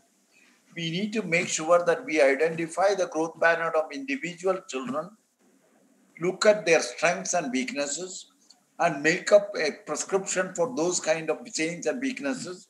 So there is an elaborate procedure we need to evolve in the first five years of foundational thing. If we don't create the foundational numeracy and literacy at this particular five years, then we are going to lose out in terms of the ability of the child to comprehend some of the more advanced ideas because the foundation is not sufficient. And this foundation cannot be recreated at a later stage because the brain has already grown. I said by the age of eight, you're already the brain growth is already 85% of the total. So this is very clear that we need to create a new set of curricular structure, the new pedagogical approaches, the teachers who are familiar with this kind of a requirement, and a large fusion between the Anganwadi system, the present, the present preschool systems, as well as the primary school system. I think we need to bring the fusion to have an end-to-end kind of a connection and taking due recognition of the developmental characteristics of the child with respect to his ability to comprehend and understand uh, specific ideas. So this is going to be one of the key elements, but this is not something which is very difficult. Many, many countries have followed this. Many of them have very well succeeded. And in our case, it's imperative simply because currently 5 crores of youngsters are out of education, primarily because they don't have the necessary numeracy and literacy functions understood. And if we neglect this numeracy and literacy by not doing the primary and early education properly, the early childhood care and education, ECCE, then we are going to lose another five, uh, five crores in the another five years or 10 years. We cannot afford this. We cannot have a large illiterate population because we are overlooking something which is now very clear to us what to do. And therefore, we have got a very special prescription of how to, first of all, bring to, to, to, bring, to identify the trajectory of learning, to who will do this uh, uh, process of teaching and interaction, and whether we draw also community people, people from the higher classes, bright youngsters coming and teaching in the lower classes. There are several such prescriptions we have identified in the school education, both at the foundational and preschool, primary school level. I think they should be carefully studied. The policies will naturally have to be converted into both a curricular framework, which I understand is under preparation by 2020, 2021. We will have the school curricular framework, and that curricular framework then has to be adopted by the states with respect to their school curriculum as well as the pedagogy. And then the teachers have to be oriented. In our view, I think it takes about six months for the student, and the teacher, to get familiar with the newer dimensions of the teaching and the pedagogy that they need to take. Uh, but it's workable, so we need to move towards that kind of a thing. And good amount of description is there in the report. And uh, of course, curricular framework is the next important step. Once the curricular framework as I said, go towards curriculum and pedagogy. Yeah, thank you, sir. Uh, another question is regarding uh, the language of instructions uh, in the schools. So, is it uh, is it uh, like uh, in the new NEP? Is there any scope for native languages? what is the scope? Is there any emphasis has been given for the native languages apart from the English? Yes, I, I think what I want to say something about this aspect of it because I think the people have a tendency to interpret it in different ways. This, this is actually a three language formula which was earlier there in the earlier policy, number one.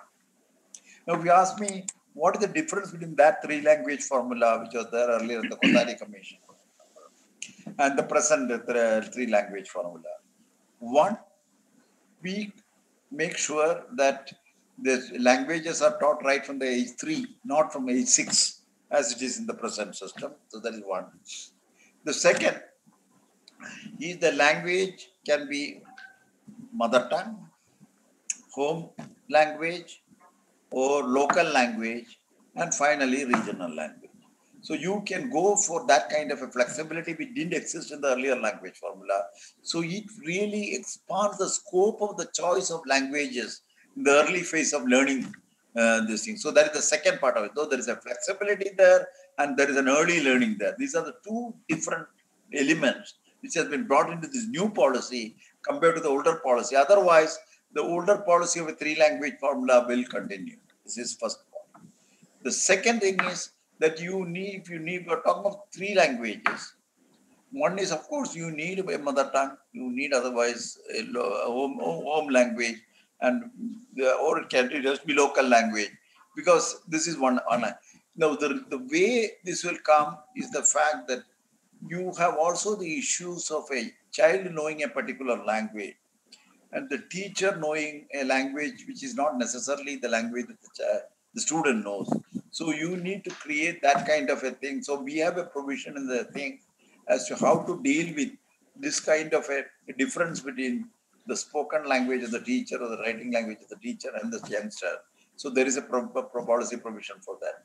The second, the second aspect is so there is a provision for studying the local language or the language spoken at home or those kind of a thing. But we need to make provisions for it because the, the, the question is easier said than done, but we need to bring. And for that, you need adequate number of youngsters interested in the language, and therefore you get the correct critical number of teachers for that. So this has to be mapped with respect to different locations. And so, but the policy does not prevent you from doing this.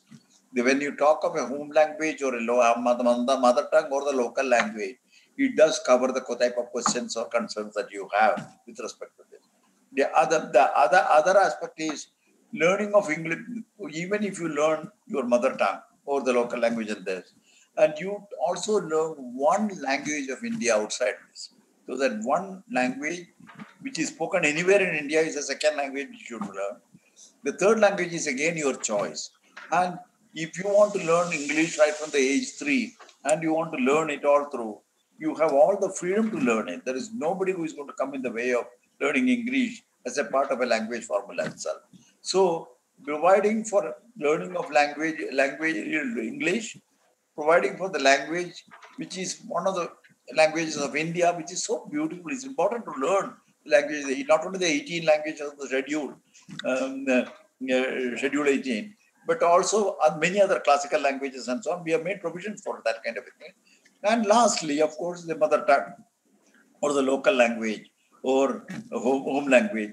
This is also there. So I think between the three, it covers all the aspects of a language requirement for learning the early phase of the education. I don't think that, and there is enough flexibility. The important thing is that there should be a critical mass in terms of an interest to learn among the children in the local area, and you should be able to immediately create the necessary teaching support for them. But I think both are still possible because simply because language is something. I only want to say that the language policy is much broader than this, the policy itself. There is the question of um, learning languages uh, beyond uh, the, the regular languages of India, which is the state-wise languages. You have also classical languages we are recommended, areas like Sanskrit, Pali, um, and classical Telugu, classical Tamil, classical Kannada, and things of that kind, Malayalam. And so there are several such things also we are recommended.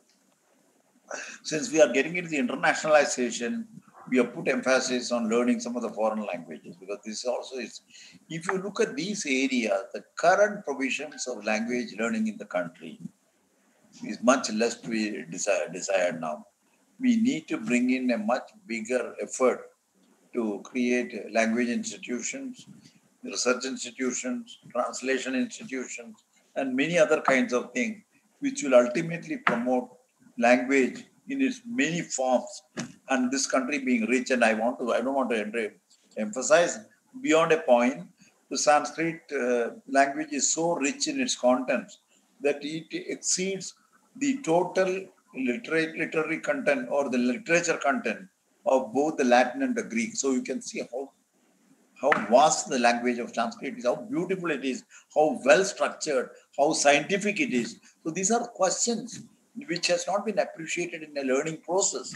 And we have gone into the details of these and made specific recommendations on this kind of a thing. So there is a higher level of learning Indian languages.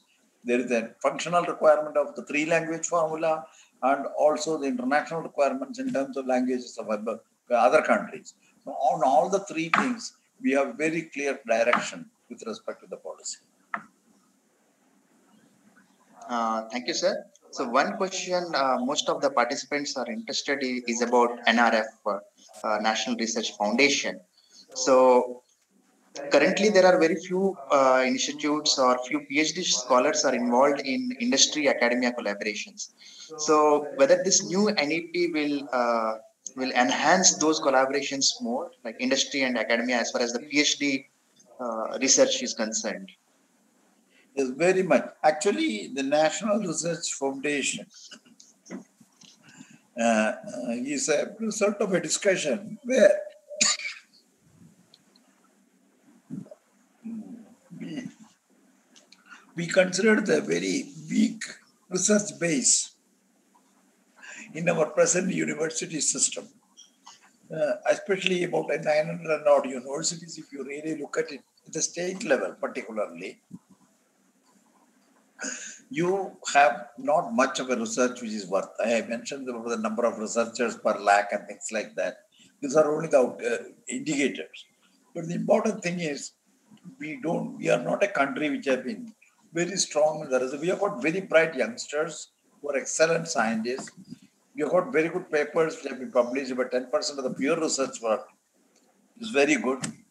But there is much to be done with respect to the points you made. Applied research, translation research, industrial research, and research for other requirements like social uh, requirements as well as strategic requirements.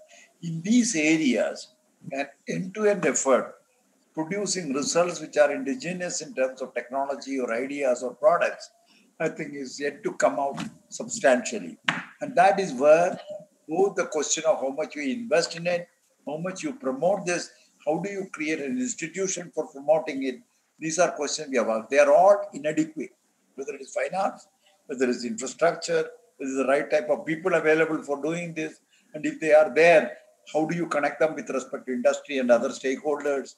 These are questions which we have addressed to the National Research.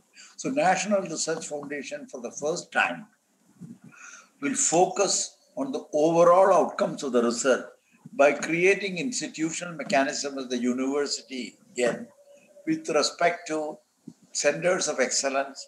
And in creating the centers of excellence we would like to see the expertise of several people who have grown over years who have now withdrawn from their parent institution, but who are still available, who are very active, and whose mind is still very alert with respect to the kind of strategy we need to adopt for creating centers of excellence. So we need to draw their expertise, try to create these centers of excellence in universities, try to create connectivities with the local institution, whether it is related to hospitals, whether it is health, whether it is related to industry, whether it is related to other areas like transport, environment, and things like that. And so there is a whole variety of topics on which the research programs can be defined. And the local institutions could be one area. And also where there are industries which are available, there can be a two-way process of an interaction between industry. We have also mentioned about that part of it. One is to make sure that the industry provides the necessary support uh, in terms of uh, using their major facilities for conducting certain aspects of research on with investment has not taken place in the educational institution.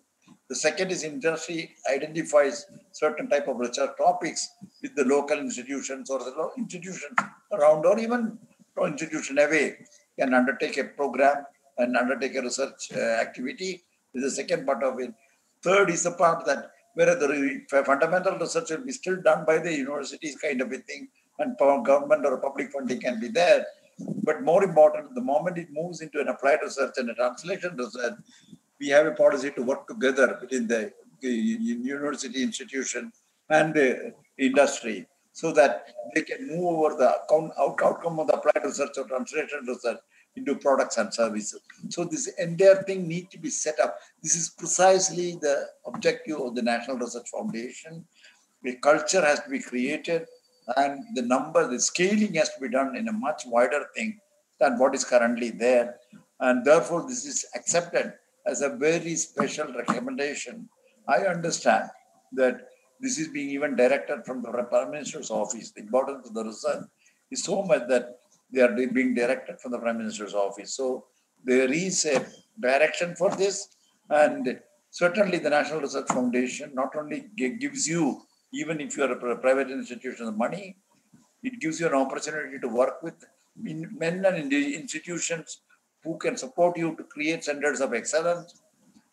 The provisions exist in connecting this with the local industries or industries elsewhere, which where there are certain areas of outcome that they are expecting from a research. The indigenous technology, therefore, can be further enhanced, and even new technologies can get into the market. So, this is a very wide-ranging uh, uh, opportunity uh, for people to initiate and pursue research with very much focused end goals, which is the most important aspect of it. Whereas paper production can continue still. These are by and large substantially going to be in the applied and translational research. Yes, sir. Yeah. Uh, thank you, sir. Thank you very much. Uh, uh, thank you very much for uh, the sharing the. Lakshmurtha, do you have any reflection, sir? Yeah, yeah. Sir, please. Sir, I have one, one point which also the policy is talking about the allowing foreign educational institutions to you know, come into India and collaborate. Can you throw some light on that, sir? You know, we have uh, recommended that all the higher educational institutions ultimately have to move towards three classes of institutions. The first and higher class are research universities. These are research universities where there is high grade teaching, but research is a kind of a importance, a 50-50 kind of a thing between teaching and research. And they are maybe a 100 or 200 of those kind of a thing in the next 20, 30 years.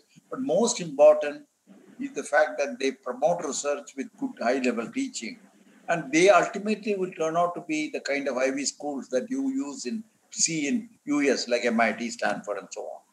Then the next one is an area where the teaching is an emphasis, but with research coexisting, because teaching and research go together and it improves the quality of the teaching through research people, and research people benefit considerably when the students in terms of their originality and uh, uh, innovation and things like that. But these are called the second class. These are, these are universities at a level what you call the teaching universities. And the third is at autonomous degree giving colleges. These are undergraduate colleges. This will give uh, degrees in a variety of subjects, but with liberal education as the foundational component in these colleges, and then try to have the majors and minors as needed in the undergraduate education. So these three levels are going to have a certain time frame in which they will be established. It depends on the resources, financial, human, and other kinds of support that you need, and their infrastructural and so on. So it is having its own time frame. But instead of waiting for that kind of a time frame and the Indian system to get into the place, we can also provide a, one more look uh, a direction in which similar systems have been already established and proven elsewhere. They come, they institute, they create those kind of institutions here, fulfill the type of goals that we have set up for their, uh, their, their research universities or teaching universities, and so that the kickstart can be done faster. So this is the whole idea that we can allow some of the this allows only the best of the foreign universities, mind you. We are not talking of any any type of university coming in. Best of the foreign, but but it kickstarts the whole process much earlier than the time frame that we will have to establish this kind of a system and a structure uh, for the higher education institution. That is the main. thing. Second thing is all the rules of the game also we need to learn, and we can't be just experimenting internally to learn those. Once you bring in this kind of capability from outside, create institutions within from which we learn quite a lot, then the next steps from internally could be much better facilitated, much easier done, and much faster done than otherwise if you were to do it all by learning from first principles. So the other part of so these are the two reasons why we want to encourage investments from abroad with respect to universities from outside, but they will be all judged and there has to be a proper legislative framework which also has to be written down. But this cannot be just an easy entry into the system. So that legislative framework has to be work has to be done on that, and we have to get the necessary clearances from the parliament and other institutions to make sure that this is facilitated. So this is the background for that. Thank you very much, sir. Thank, thank you, sir. I Thank you, think there sir. is one. I have one point, sir, uh, with regard to uh, uh, enabling the existing uh, colleges to get into autonomous degree awarding colleges in the next 15 years. And the next 15 years is a timeline that the policy provides. So now, uh, in the next 15 years, uh, uh, the institutions are expected to get the autonomy in a graded way. One is academic autonomy, administrative autonomy, and finance autonomy. So now, for this, for an institution to become autonomous for degree awarding uh, in the span of 15 years, uh, there are certain enabling situations that are needed in the respective states, respective state governments, and the respective state universities to which the existing institutions are affiliated to. So, in that context, sir, are there any uh, timelines that are given for the universities to bring come up with the SOPs for enabling the, the capable private institutions to become autonomous? Uh, or when can we get these SOPs ready, sir? I think this is a part of the implementation plan. Each of the state can set up, for example, in Karnataka, they are looking at this kind of a problem with respect to how quickly we can convert some of the colleges into autonomous degree giving colleges. And uh, the whole the whole thing depends, of course. You know, we have also restructured the regulatory system. You you have a regulatory authority, you have an accreditation authority, you have a grants giving authority, and a frame setting authority. There are four of them, and they are all put, integrated also to the National Education Commission at the top. So now this will lay down procedures for this. You have you have a, a regulation and an accreditation and grant giving. They will land the framework setting. They will lay down the procedures, and each state can adopt procedures which is most conducive, and it can also be institution specific. For example, your institution is extremely keen to move into a de- autonomous degree giving colleges in the next five years. What is needed is to make sure that you bring a multidisciplinarity culture into your system, integrate you, try to see whether you can bring even professional education and vocational education into your flow, into your into your fold, besides the regular education, uh, mainstream education. So if these elements are brought internally, and you restructure internal system, and then go to these re- re- revamped uh, system of regulation. I don't think that there is any problem. How fast you can be ready with a Uh, uh, with the capability and your ability to move towards autonomous body institution can decide how fast you are able to get that accreditation. I don't think anybody will come in the way of that because the policy provides for an early transition into autonomous degree giving college. When in fact the policy is even more anxious that these autonomous degree colleges should not be stuck as autonomous degree colleges. Once they cross something like 3,000, 4,000, 5,000 students, and they have this multidisciplinarity culture and try to bring in liberal education into the uh, undergraduate education, they can start going into the higher education part of it, masters and PhD, and also start going into the teaching university status and teaching university. So these are there is no hard no hard walls separating these kind of institution. It all depends on your performance, your recon- continuous reconfiguration of your capability, and what kind of stature do you enjoy among the communities over the education is concerned. This will automatically make you eligible for the next level and next level. So this is a time frame which you can set. You can show that you are capable of meeting the, requirements, and those requirements, what is the what is the curricular framework and things like that, will now come out as I mentioned. Once that is there, and the regulatory bodies are in place, between the two, you can discuss and make sure that uh, this this can be proceeded with. Uh, I don't think there need to be worry about the time frame. The time frame will not be set by the government.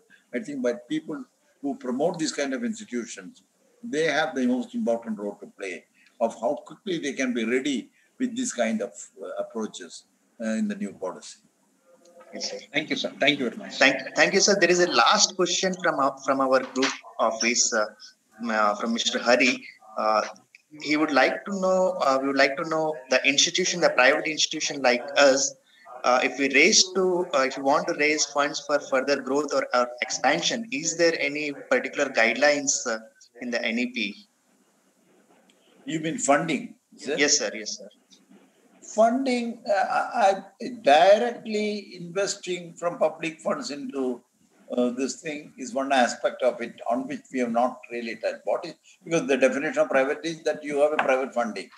The, what we have tried to emphasize is two, three things. One, you have a major research program and you want fund for research, and that research includes hiring people, creating some minimal infrastructure, and many other kinds of support. I think whether you are a public or a private funded institute, you will get this. The, we know currently you know that there are differences, distinctions made between private institute and public. So that part of it will be there. The second thing we have thought about is there are many areas where facilities of large investments are available. And here we want to make use of the fact that this, just for those kind of major facilities, a national facility. After all, you are all part of a national set of institutions. So they, you should get also the flexibility of using those facilities with minimal kind of a charges which has run for mainly maintenance and running and things like operational kind of a thing. So operational, this is the second part. Third is major other things like, for example, there are in schools one talks of playgrounds, libraries, and many other kinds of common facilities. Now these are also can be shared between private and public. So there are many areas in which this kind of sharing of resources or getting funding for areas like research is possible. Uh, I, on the question of funding an institution itself through public money and call it a private institution, I am not very sure that we have addressed that question in that perspective. Our assumption is that uh, the private institutions or a public spirited institute, or what you may call as a philanthropic institution, they will make the necessary initial investment, create the core capabilities, and then on specific areas, they seek also the public funding support. That is possible. Thank you, sir. Thank you very much, sir. So now I request uh, Professor Raja Murugadoss to deliver the vote of thanks. Sir, sir, uh, one- uh, uh, Bharani, one minute. Uh, Any panelists have any other things to ask, sir? Any of our panelists? A- Any queries that you'd like to find? Thank you, sir. So, Raja, go ahead. So thank you. Yes, sir. Thank you very much, sir. Sir, at the outset, uh, uh, on behalf of the entire team of GMR Varalakshmi Foundation, uh, we are expressing our sincere gratitude and thankfulness for accepting our kindly, uh, kind, uh, accepting our invitation to address this uh, particular topic on national education policy.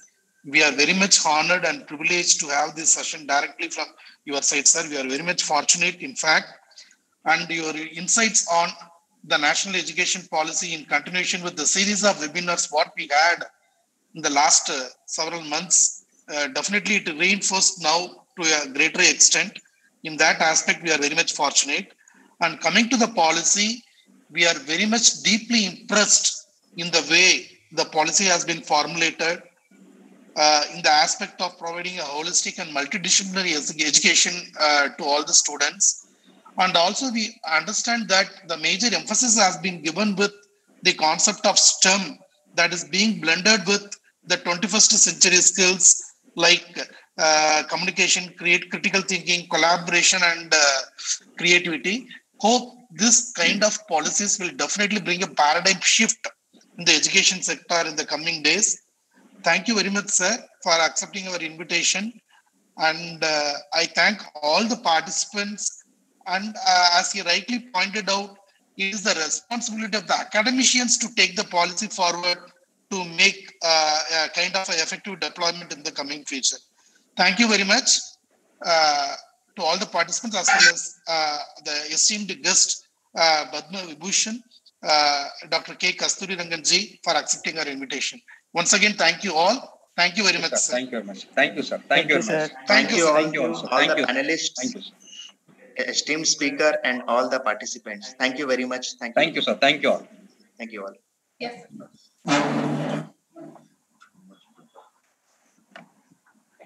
Meeting end చేసేస్తున్నా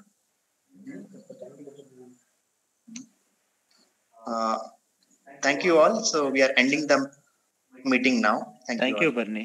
Thank you, Bharani. Thank you Thank sir you. Thank you, sir. Thank you sir thank you all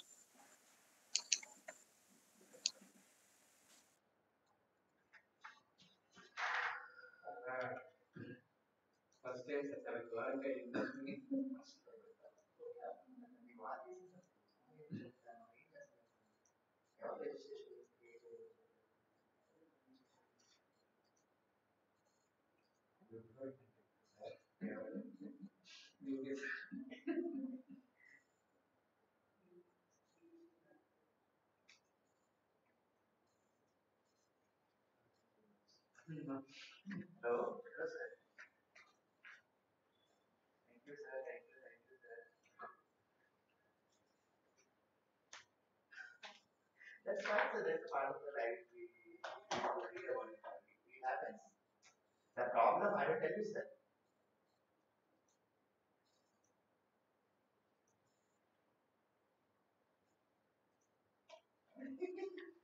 Yeah, I think the mistake is from uh, Soumya, sir. He gave the registration thing instead of, you know, lettering and he gave the password wrong.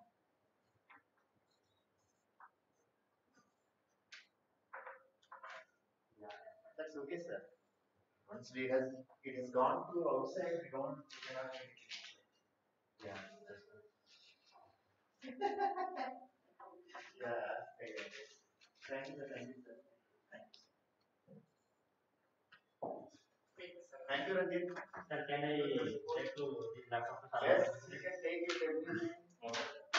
Everything let me borrow from Sunny's power. Hey, uh, they will give you power.